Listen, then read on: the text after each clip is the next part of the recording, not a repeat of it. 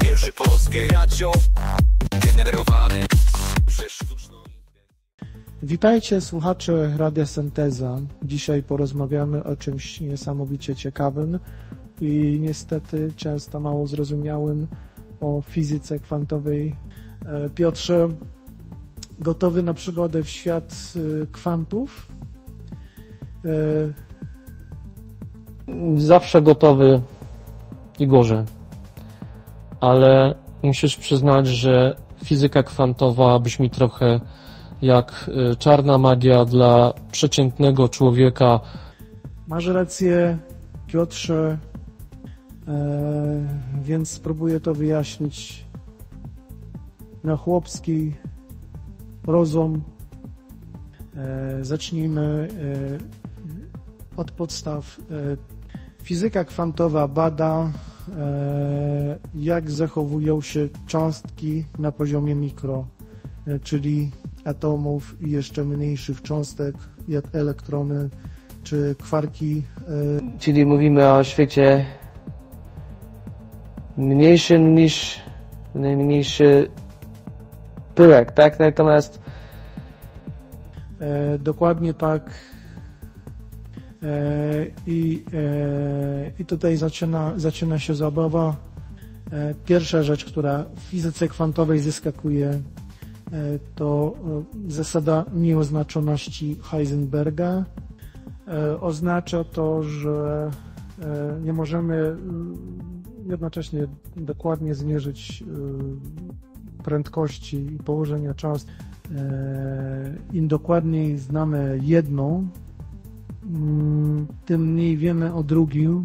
to trochę jak zabawa w ciuciu babkę z widzialnym powietrzem. Jak mamy cokolwiek zmierzyć? E, No właśnie. E, Kolejna rzecz to dualizm korpuskularno-falowy.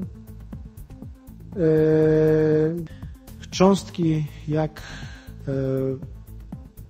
elektrony mogą zachowywać się zarówno jak fale, jak i jak małe kulki Wyobraź sobie, że rzucasz piłkę do bramki, ale jednocześnie ona zachowuje się e, jak fala na wodzie. Też zupełnie jak proza surrealistyczna. Piłka, która e, chciałaby być falą. E, Świetna metafora, Piotrze. E, A teraz spójrzmy na coś jeszcze dziwniejszego.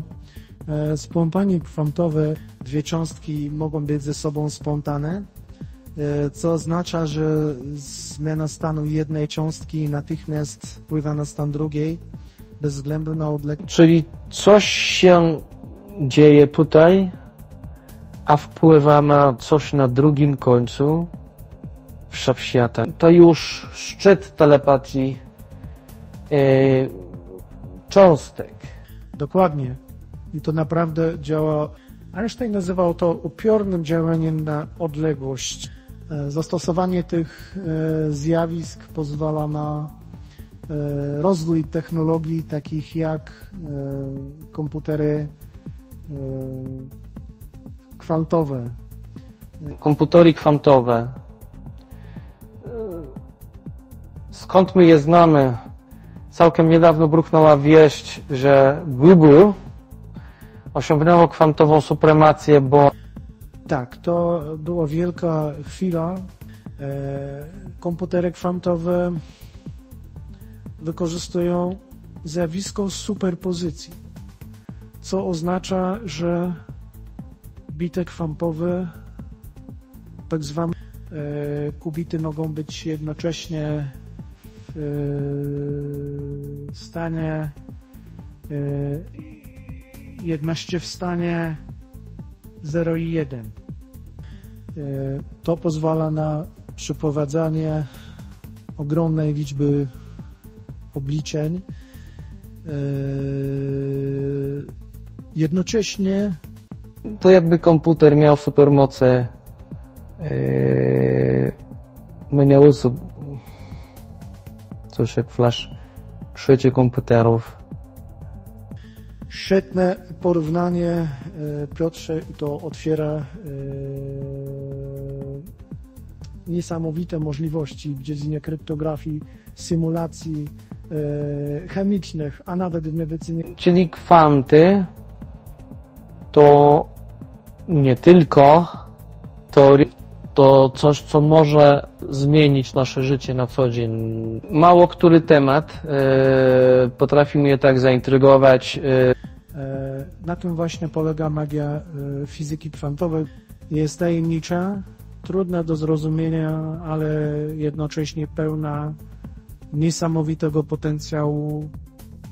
Mam nadzieję, że wyjaśniliśmy to naszym słuchaczom, choć trochę prościej. Ja osobiście jestem pod wrażeniem i, i chyba będę musiał jeszcze raz to wszystko przemyśleć. Dzięki Igorze za tę wspaniałą kwantową lekcję. Dziękuję również Piotrze za towarzystwo i humor. E, A naszym słuchaczom dziękujemy za uwagę i zapraszamy do kolejnej e, audycji Radia Synteza. Do usłyszenia. Do usłyszenia miłośnic kwantowych e, zagadek. E, Radio Synteza. Pierwsze polskie radio generowane przez.